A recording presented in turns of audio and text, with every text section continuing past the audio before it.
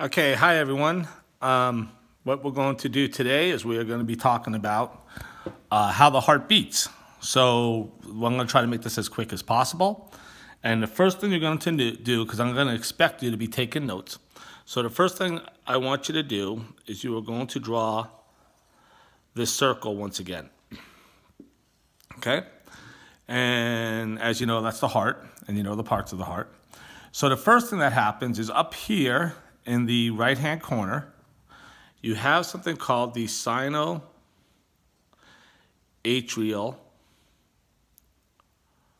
node.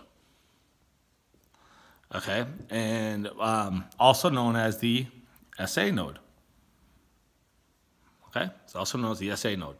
So what this is, um, or I should say, it's also known as the pacemaker of the heart. So if you look at this, that's the pacemaker of the heart. If you look at it, it gets signals, if you remember the cranial nerves, it gets signals from the vagus nerve that will basically tell it how fast it can beat, right? So what it does is it basically um, causes, it causes the, um, it causes the atria Remember, atria is plural for atrium. To beat.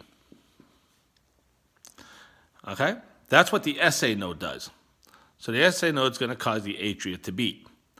Now, the other thing that happens is right down in here, we have something called the AV node.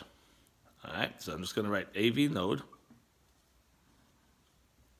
Okay, so there's my AV node, also known as the atrial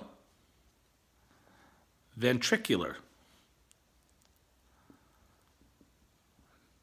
node. All right.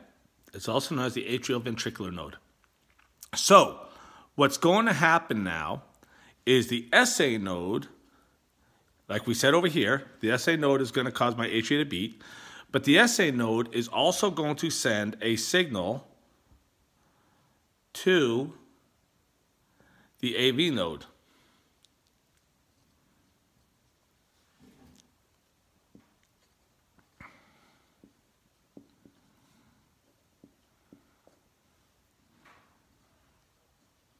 Okay?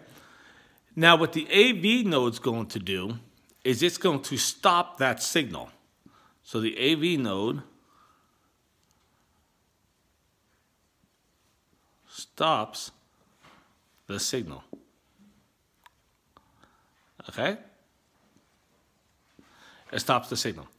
Then what's going to happen is um, after it stops the signal, it just stops it for a second. For a, it's actually less than a second. It's like milliseconds. So for a short period of time.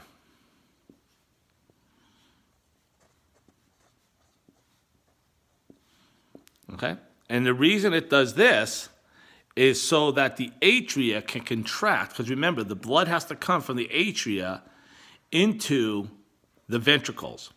So it does that so that the blood can come from the atria into the ventricles. If the ventricles are contracted at the same time as the atria, then the blood's going to have nowhere to go. But when these contract, it forces the blood down into the ventricles. Now, once the blood's in the ventricles, it has to be pumped to either the lungs or to the out to the body. So what the AV node does then is um, after the blood is in the after the blood is in the ventricles, what it's going to do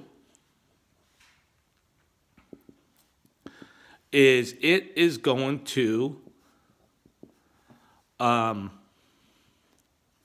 the AV node sends the signal for the ventricles to contract. Node sends, oops, that should be the word after, sends signals for ventricles to contract.